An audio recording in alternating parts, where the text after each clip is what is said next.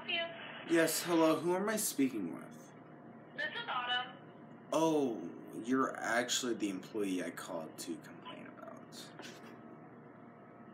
Okay. Well, I came in there, I was driving my Chrysler Sebring, and I asked for a McDouble, no pickles, and I got a McDouble, no onions, extra pickle. And I think you did that shit on purpose, bitch. Okay. I know how you fucking play. I know how you young teenage girls are out there on the prowl. You were intimidated by me coming through the drive-through, and you took advantage. And I'm Well, one to I'm not a teenager, so. Listen, sweetheart, if you want to play mind games, we can play fucking games. I got gas money for days. I can drive all the way there from the Grove in six minutes. Okay.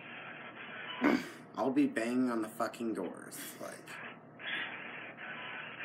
Well, I mean, you probably get better since if you hit the window. I mean, if you want to come back up, I'll fix it for you.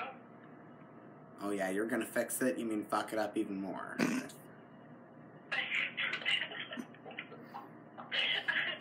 okay.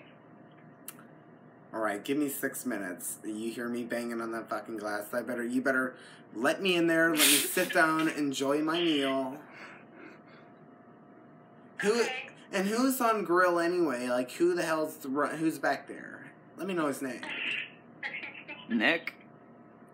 Nick, is this you? Nick, I knew it.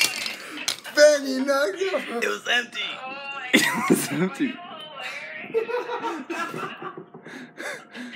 Oh my god.